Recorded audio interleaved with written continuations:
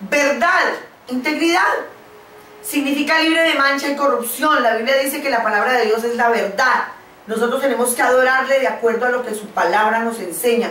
Y cuando dice en espíritu es porque el Espíritu Santo a través de nosotros adora al Padre. Él es quien nos enseña a ser verdaderos adoradores. El verdadero adorador está libre de mancha moral. Los motivos y las intenciones de adorar son glorificar a Dios. Un verdadero adorador practica lo que habla. Es el mismo en público y en privado. Alaban a Dios con su boca, pero su cuerpo, sus pensamientos son de venganza, de falta de perdón, de inmoralidad, de miedo, incredulidad, o juzgan y pecan con su cuerpo, entonces no son verdaderos adoradores. Si usted no adora a Dios con su cuerpo, con su alma, sus emociones y su espíritu, su adoración es ficticia y contamina. En los grandes ministerios, donde hay un coro y tienen mucha gente, se tiene que tener un gran discernimiento. Director de la alabanza se llama. Ese ministro de alabanza tiene que ser una persona íntegra y tener un gran discernimiento y una comunión especial con el Señor para que le muestre lo que hay en el coro, en la alabanza, en los miembros de la alabanza. Yo les he contado una de las dos iglesias donde me congregué la iglesia en Miami. Ah, cuando el Señor empezó a darme, a despertar en mí todos esos dones, había un director de alabanza. Y yo un día llegué a la alabanza, yo no era líder, no, aún el Señor no me, ni siquiera el pastor sabía cómo me llamaba. Y allí estaba yo dispuesta a alabar al Señor, pero yo vi algo en el, que no me gustó, el director de alabanza. Pero no entendía qué me pasaba. Con el tiempo supe, tenía una relación con la niña que manejaba el teclado. Solteros, estaban en fornicación. Más adelante, ya era líder, ya predicaba, ya el Señor me tenía más formadita.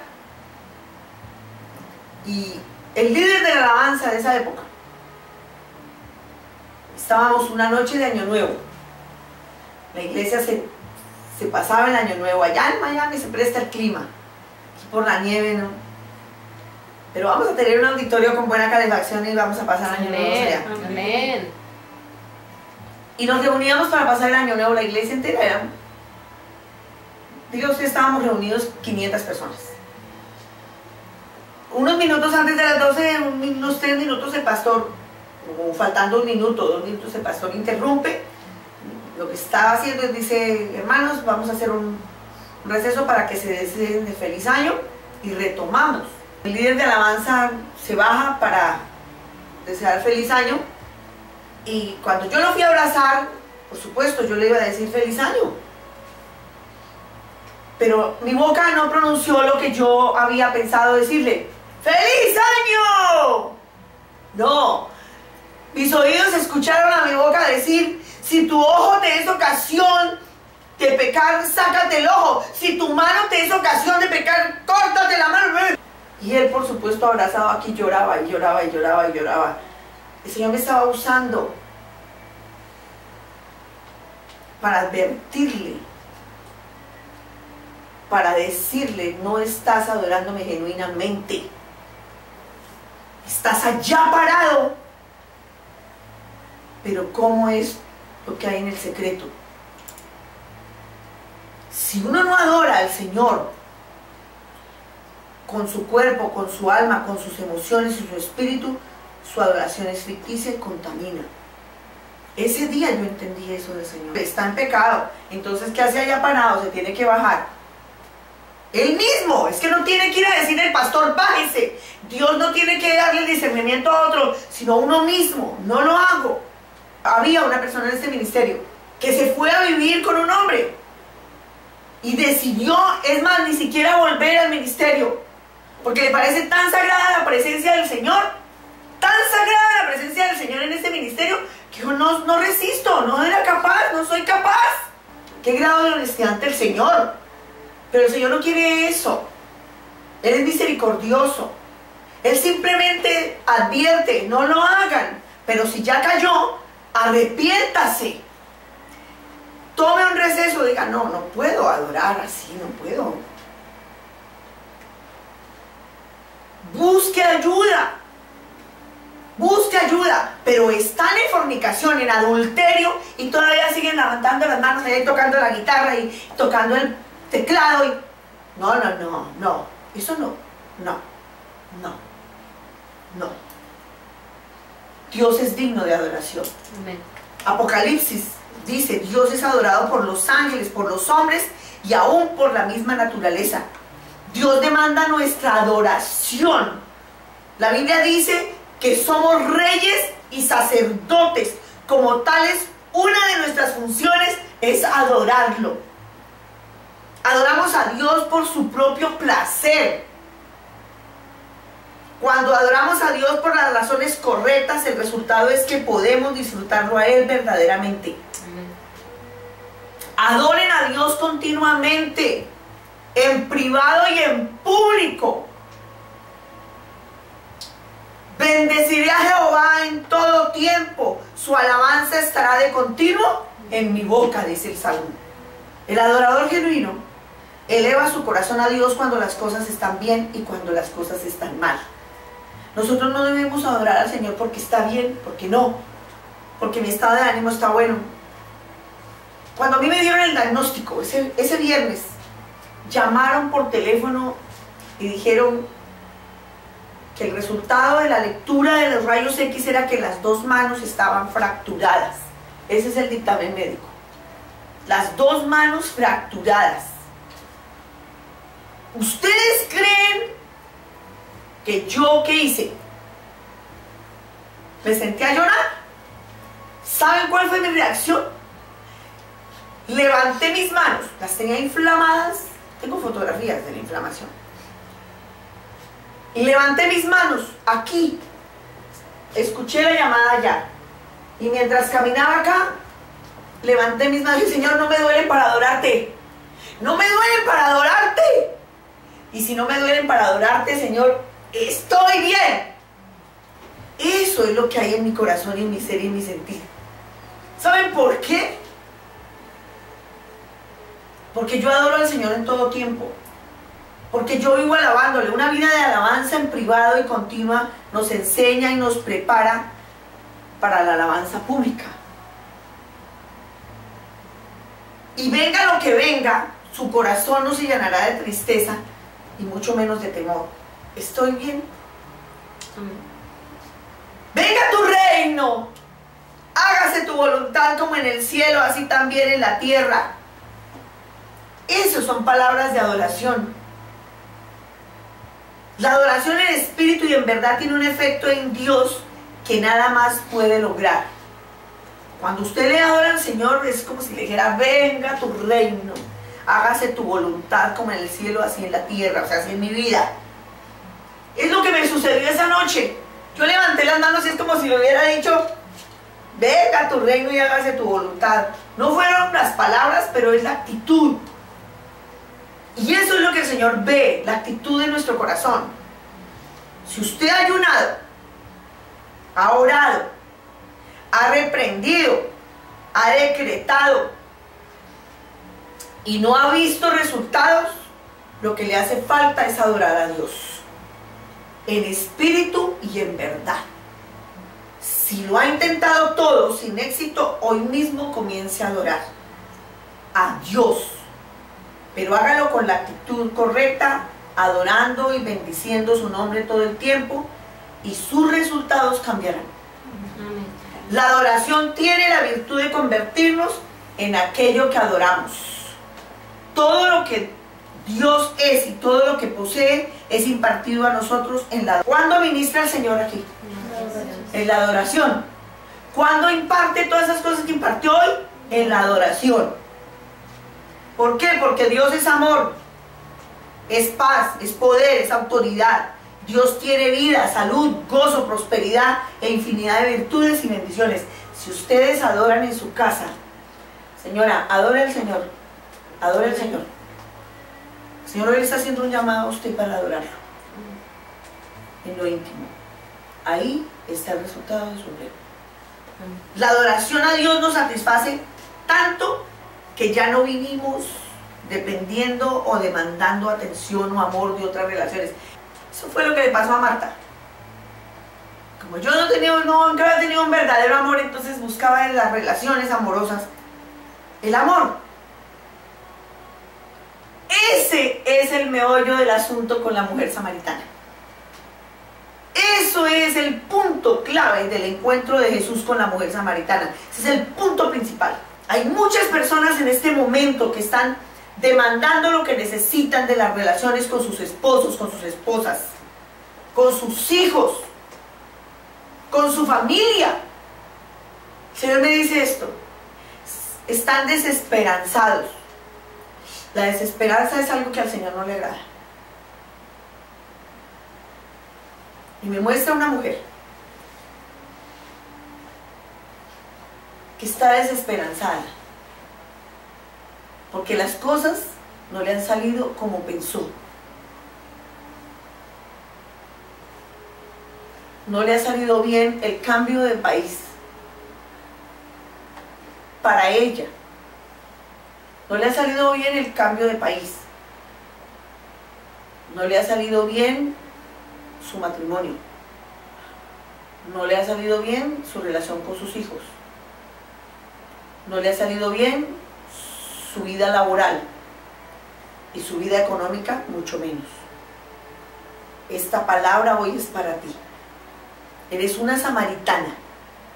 Eres una samaritana. No en el contexto de buscar en un hombre o en una relación el amor. Estás como la samaritana.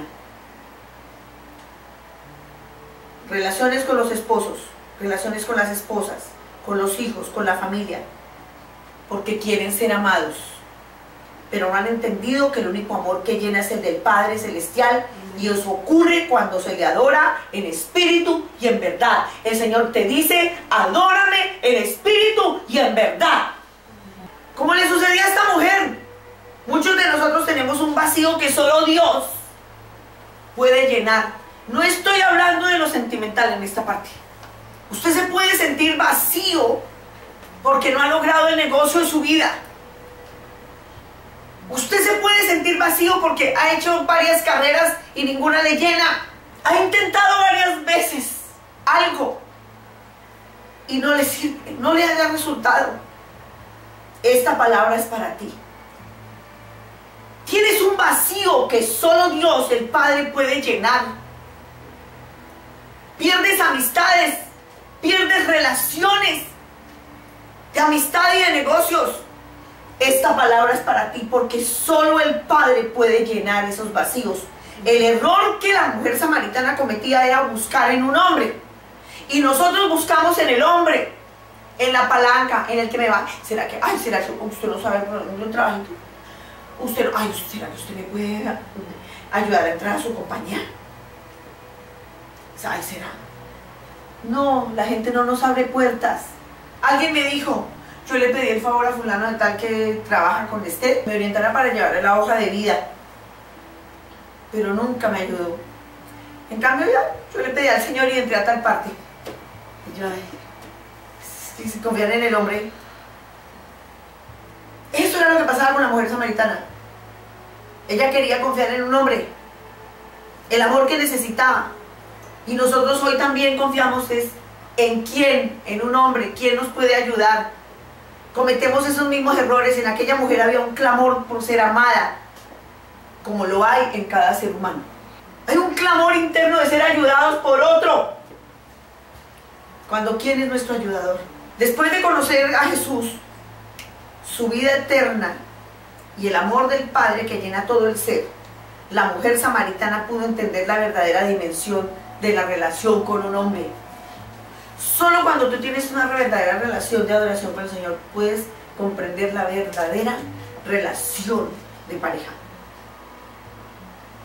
Ya no necesitaba tener uno a un lado para sentirse completa y satisfecha. Ya no estaba buscando que un hombre la llenara. Por eso es que a mí me llena de ira y ojalá sea santa. Para no ponerle un puño en la boca a la persona que me vuelva a decir, ¿por qué no se consiguió marido por internet? Como fulanita. Atrevidos, además son atrevidos. Alguna vez que alguien me diga, yo le he dicho, ¿por qué no consiguió el marido? No, en mi vocabulario eso quedó cancelado. Porque debo respetar a mi interlocutor. O respeto a la persona. No debo ni siquiera insinuárselo. Además, yo estoy llena, yo estoy plena. Yo no necesito estar buscando que un hombre me llene. Muchas personas frustradas, deprimidas, desanimadas, viven por el mundo porque han estado demandando el amor que les hace falta de alguien que no tiene capacidad de dárselos. Por eso es que usted encontrará tantas personas divorciadas. Unas personas hasta con 5 y 6 divorcios. O con muchas empresas que no han intentado todo. Han estado empujando y empujando, peleando, reclamando, cambiando de persona una y otra vez y no lo han podido encontrar. Y están frustradas. Si deciden, les tengo una noticia, si deciden acercarse al Padre, adorarlo y amarlo con todo su corazón, Él vendrá, les amará, les cuidará y por consiguiente se sentirán satisfechos. El amor que ningún hombre o mujer pueda dar, que ni los hijos, ni la misma madre puede dar, solo proviene del Padre cuando nos convertimos en sus verdaderos adoradores. Le dijo la mujer, sé que ha de venir el Mesías, llamado el Cristo. Cuando Él venga, nos declarará todas las cosas. Jesús le dijo, yo soy el que habla contigo. Cuando tantas veces y cuántos años esa mujer estuvo buscando una respuesta y ahora la tiene frente a ella. Ella siempre buscó a quien adorar buscando quién le llenara su corazón. Y ahora le estaba diciendo, yo soy el que habla contigo. En esto vinieron sus discípulos y se maravillaron de que hablara con una mujer. Sin embargo, ninguno dijo, ¿qué preguntas o qué hablas con ella? Señor, pudieron haber dicho, Señor, ¿no se ha dado cuenta que es samaritana? ¿Qué le pasa? Recuerden que los samaritanos no eran bien vistos por los judíos. Y si eran mujeres, era peor. Los discípulos también tenían ese prejuicio. Pero no nuestro amado Jesús. Entonces la mujer dejó su cántaro y fue a la ciudad y dijo a los hombres. Eso es lo que nos sucede cuando ascendemos a adorar. Cuando nosotros nos acercamos en adoración al Padre, nos entregamos al Padre como hijos sumisos, rendidos ante su majestad, Él nos llena de su fuerza, de su, de su pasión, de su espíritu guerrero. Y así descendemos a proclamar a Jesucristo. Descendemos a guerrear contra el diablo. Descendemos a amar a nuestro prójimo. Descendemos con dolor por las almas. Venid, ved a un hombre que me ha dicho todo cuanto he hecho. ¿No será este el Cristo? Entonces salieron de la ciudad y vinieron a él. Entre tanto, los discípulos le rogaban diciendo, Rabí, come. Él les dijo, yo tengo una comida que comer que vosotros no sabéis. Entonces los discípulos decían unos a otros, ¿le habrá traído alguien de comer? Jesús les dijo, mi comida es que haga la voluntad del que me envió y que acabe su obra. Porque Jesucristo compara hacer la voluntad de Dios con la comida diaria. Dios levanta hombres que tengan tu voluntad y que la tomen como una comida diaria esencial para vivir. ¿No decís vosotros aún falta cuatro meses para que llegue la ciega? He aquí os digo, alzad vuestros ojos y mirad los campos, porque están blancos para la siega.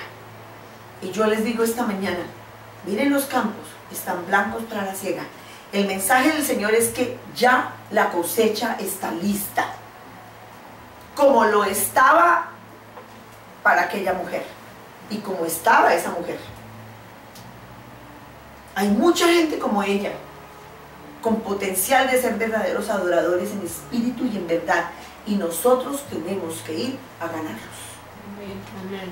Y el que ciega recibe salario y recoge fruto para vida eterna. Ustedes quieren fructificar. Estos son varas. Pero mírenlos. El que ciega recibe salario y recoge fruto para vida eterna. Para que el que siembra goce juntamente con el que ciega.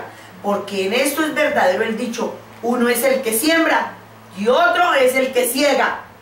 Yo os he enviado, dice el Señor. Yo os he enviado. ¿Para qué se toma el Señor la molestia de ungir y de dar todo lo que da? Usted misma lo expresó. Usted sentía cómo la llenaba. Señora, este mensaje el Señor lo puso sello con usted. Él hoy nos está llenando de esa agua de vida. Nos está llenando de esa agua de vida. ¿Por qué? Yo os he enviado a cegar lo que vosotros no labrasteis. Otros labraron y vosotros habéis entrado en sus labores. Muchos de esos samaritanos creyeron por el testimonio de aquella mujer. ¿Cómo está tu testimonio? Prácticamente ella fue quien evangelizó a su pueblo. Esa mujer, con ese corazón de adoradora, porque cuando en el pozo el Señor le dijo, le mostró sus falencias, lo que ella hizo fue reconocer, adorar. El Señor conocía un corazón de adoradora y la convirtió en una guerrera. Ganó toda una ciudad para Jesús. Aleluya. Todos estos hombres creyeron en Jesucristo porque una mujer supo ascender en adoración y descender en guerra. Y muchos de los samaritanos de aquella ciudad creyeron en él por la palabra de la mujer que daba testimonio diciendo, me dijo todo lo que he hecho. Entonces vinieron los samaritanos a él y le rogaron que se quedase con ellos y se quedó allí dos días. Y creyeron muchos más por la palabra de él y decían a la mujer, ya no creemos solamente por tu dicho, porque nosotros mismos hemos oído y sabemos que verdaderamente este es el Salvador del mundo, el Cristo. ¿Usted quiere ver eso? Adore al Señor. Entonces dijo Abraham a sus siervos, esperad aquí con el asno, y yo y el muchacho iremos hasta allí y adoraremos y volveremos a vosotros. ¿Dónde es allí? Allí es el lugar detrás del velo donde Dios Padre está esperando que le adoremos. Y Dios estaba esperando a Abraham ese día. ¿Lo bendijo el Señor Abraham? Cuando tú adoras al Señor, el Señor verá tu corazón y tu obediencia. Allí en ese lugar secreto donde tú vas, allí. Abraham dijo, iremos allí. Allá donde vamos a adorar al Padre en espíritu y en verdad. Abraham dijo, adoraremos y volveremos. Usted adorará y volverá, pero no volverá con las manos vacías. Porque el Señor imparte el espíritu de guerra para establecer su reino en medio de esa adoración para establecer en la tierra su reino, para ganar almas para Jesucristo. Somos transformados viéndolo a Él cara a cara y nos llevará de gloria en gloria y de victoria en victoria. Así que esta mañana espero que usted le diga al Señor, heme aquí Señor. Ya Señor, hoy he reconocido que tengo un vacío en mi corazón. Y no había entendido que la solución es convertirme en un verdadero adorador del Padre. Hoy me has enseñado cómo adorar. No entendía a quién adorar. Pero hoy sé que necesito adorar al Padre en espíritu y en verdad. Y que esto podrá convertirme y llevarme de gloria en gloria. Y mi vida de victoria en victoria. Solo el Padre puede llenar mi corazón mientras lo adoro. Hoy decido convertirme en adorador, en adoradora, para parecerme a lo que adore, a mi Dios, que mientras lo adoro, me imparta lo que Él quiere y todo lo que y tiene. que me llene con su espíritu guerrero, porque su nombre es Jehová, varón de guerra. Por lo tanto, Si he nacido de Dios, también también. Tengo su naturaleza guerrera. tengo su naturaleza guerrera. Señor, Señor, hoy quiero volverme uno contigo. Hoy quiero volverme en alabanza, en alabanza, adoración, adoración, humillarme, humillarme, tirarme a tus pies, tirarme a tus besar pies, tus manos besar tus en actitud de humildad y obediencia, con un corazón transparente con un corazón transparente, por tu Espíritu por Santo tu espíritu, que me ayudará a adorar al Padre. Ahí me convertiré en guerrero, en guerrera, eh, porque el Padre anhela establecer su reino en la tierra. Hoy le digo, heme aquí, y eso solo se hace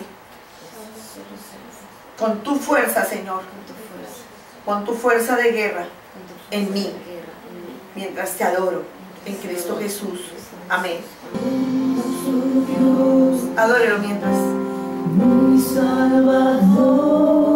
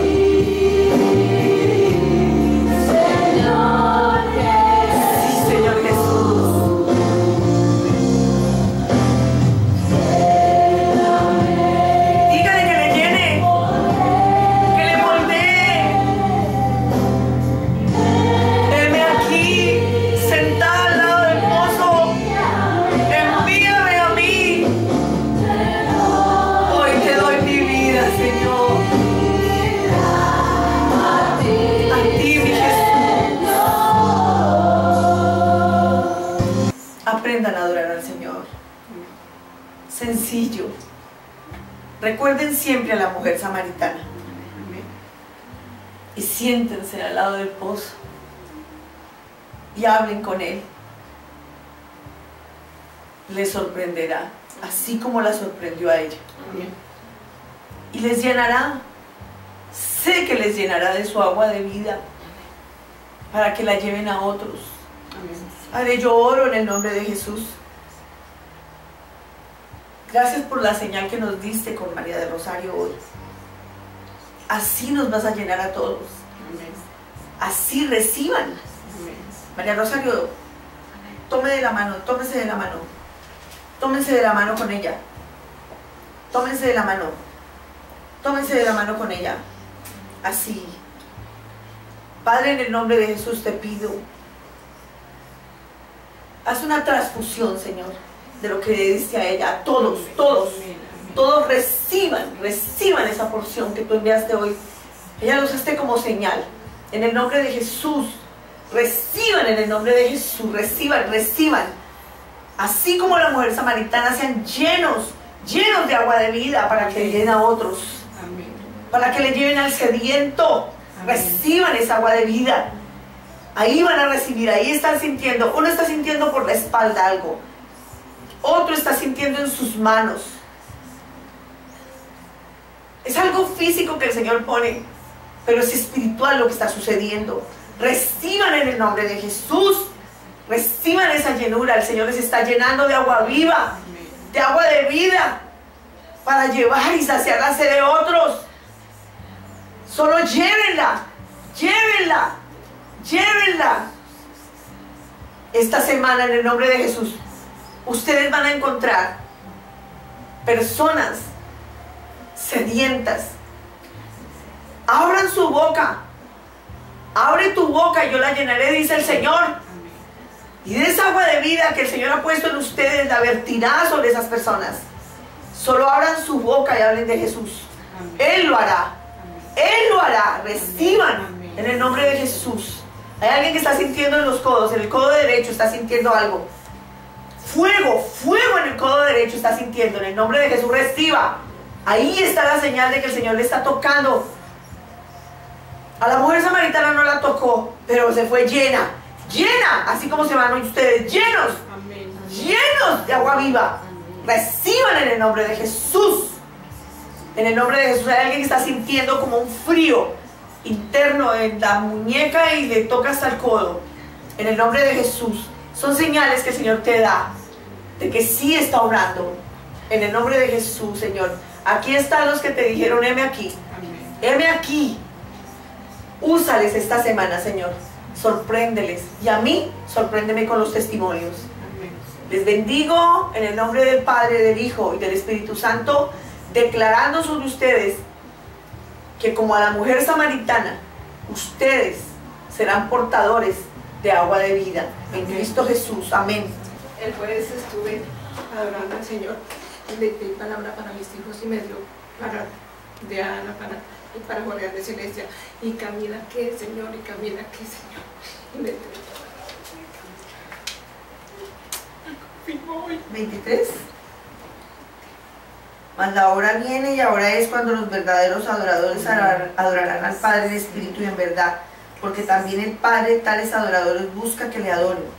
Dios es espíritu y los que le adoran en espíritu y en verdad es necesario que adoren.